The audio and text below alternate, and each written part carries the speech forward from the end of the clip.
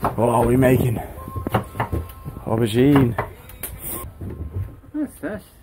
Fossil Bluff is one of the most remote cabins in the world and is used as a staging post for operations in Antarctica for British Antarctic Survey. The nearest humans are 255 miles away at Rothera, and the nearest civilization is 900 miles away. The nearest hospital is 1,200 miles away from Fossil Bluff. We are truly remote. There are no fuel stations in Antarctica, so we need to depot fuel at certain points to be able to travel across the continent. This red line shows a skiway in which planes will land and drop fuel off to build up a depot at Fossil Bluff. Once a depot has been built up, a plane can land, be refueled, and travel further into Antarctica to build up a bigger depot.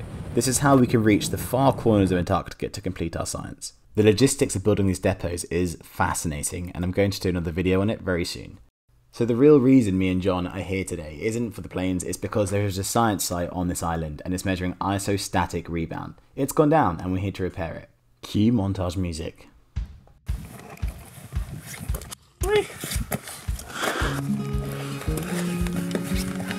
A bit warm.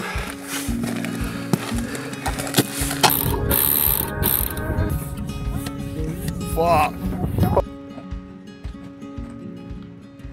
So we're here at Fossil Bluff to repair one of the science sites that's gone down.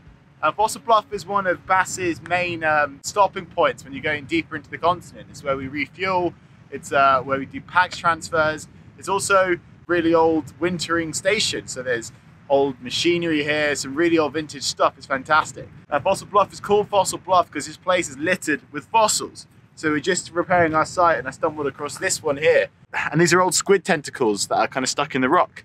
These are super interesting mountains because these are all sedimentary rocks. So this is an ancient seabed and uh, it's all crumbly and that reveals all these amazing fossils. So part of the Antarctic Treaty says we are not allowed to remove any fossils. We can admire them and then put them right back where we found them, but we cannot take them out of Antarctica. Otherwise we're getting quite a lot of trouble. But yeah, have a look.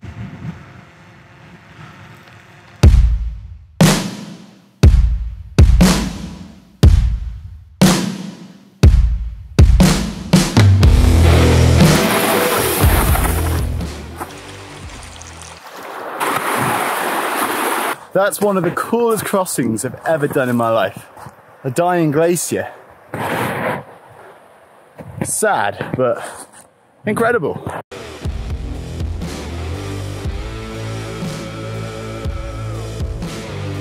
Here's an example of how amazing this place is. I'm almost at the top of Pyramiden, and up here is a fossil.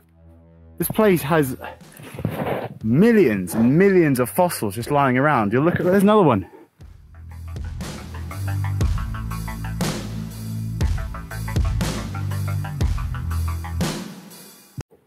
About the top. Well, I was 10 minutes ago. Heading back down, you can see the tracks.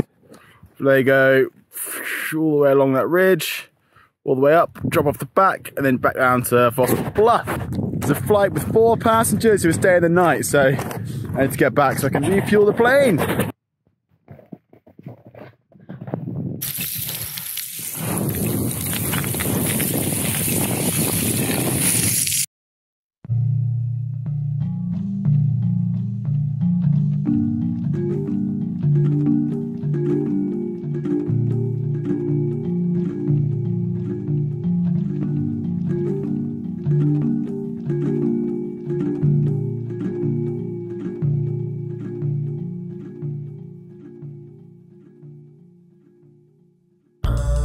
While we're watching this flash flood that I caught with my drone, I thought I might answer some questions from my Instagram about Fossil Bluff. How do we know when the planes are coming and what is going on with schedules and stuff? Well, every night we have a phone call at a set time with Rothera. This is to check we're all okay and alive and everything's going well, and also to update us with weather forecasts and plans for tomorrow. How do we go to the toilet and how do we have showers? Well, peeing is easy. Uh, pooing's a little more difficult. There is a bin which is flown back to Rothera every couple of days when it fills up. And showers, well, I'll just show you this quick clip here. Someone else asked what sort of antiques are left at Fossil Bluff, and there are so many. There's a spice cabinet with spices that say East India Trading Company, which I thought was pretty cool. There is so many reports from all the old dog sled teams that came through, all the way from the 60s to the 90s, and they are a fascinating read, and there's a lot of near deaths.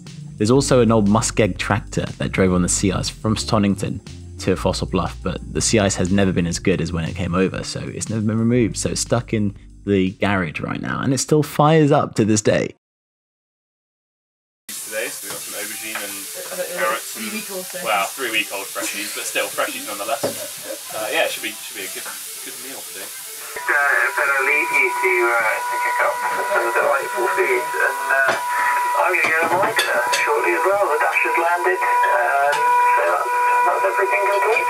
This is the comms area of Fossil Bluff. Every hour, we need to ring Rothera and give them weather updates. They can decide if planes can fly through or not. We have a high frequency HF radio. We have satellite phones to back that up in case it goes down. We have a very high frequency radio which can go a couple kilometers to communicate with planes as they're coming into land. Marine VHF radios to communicate with each other as we're going around the local area. That is all the communications we have at Fossil Bluff. There is no internet and nothing else that we can use to communicate with the outside world. Once we've finished landing planes and doing maintenance around Fossil Bluff, we're allowed to do whatever we want. So we can play Scrabble, or we can walk around the local travel area, or we can sleep, which I tend to do a lot of because this is a lot of work being here.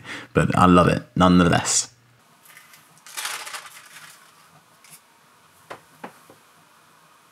Dogs spent the nights growling or fighting over pieces of blubber and snow petrel. Uh, heard quarrelling all over carcasses of the seal in the night. That's amazing. Wiley having considerable trouble ski walking due to torn muscle in his groin, 1967. This was amazing. This one's really good. Yeah. lie up, lie up, lie up, lie Yeah, up, yeah, lie yeah. up, travelling. So if you read, it's, they, they explain why they had all the layups for an aircraft to come in to deliver 20 days worth of f- food. Okay. Because they, so they were waiting on food the whole time, and then the snow condition was three foot deep, like fresh powder. So they said, I think it, it words it as like it may have been quite the challenge or something. Oh, Achilles from the Comets had to be put down as he was being dragged by the rest of the team, and his arthritis had eventually caught up with him. It was discovered in 1832. Yeah, by sea, you'd imagine. I mean, not by air. Lethargy, feeling on awakening, uh, found it difficult to come out of sleep, and, in, and this was unusual whilst sledging. On eating porridge, suddenly vomited into my hand. Quote uh, Mc- at the time, I don't usually do this sort of thing. Went out of the tent, and loud buzzing noise in ears, heart pumping and bumping in chest. Heavy breathing, in fact, panting. I'm carrying boxes of dog food, 70 pounds, legs rubbery and weak. Went stumbling over the snow, more sickness, and lying in the snow to recover, severe headache all the time outside. Dr. Williams says that could quite well have been carbon monoxide poisoning. Jesus. I love that we still use primuses to this day. There's one right there. So yeah, Stonington Island, Refuge Island, Terra Firma Island, Mushroom Island, Puffball Island, So and they started at Stonington, right? Stonington. Well, Adelaide technically, and then They started across, Adelaide, then to Stonington, Stonington. then Refuge, which is slightly further south, like kind of just round the point there. Okay, I think it's there. Yeah, then Terra Firma, Terra firma, Mushroom, mushroom. Puffball, Uh, which is kind of in between there and the point. So yeah, roughly there, and then Cape Jeremy Barrier, which is the bit that goes across those two. Oh yeah, Cape yeah. Jeremy. Yeah. Then along the west, the eastern coast of the island of the King George, the, uh, or Alexander Island, sorry. So all the way down there to Ablation Point, which is there and then to finish at Fossil Bluff. to here. Fuck. it. Uh, so they did that with dogs. Yeah, all with dogs. Uh, three teams of what is it, like five dogs, six dogs. And how long did it take them? Thirty days. Wow. Thank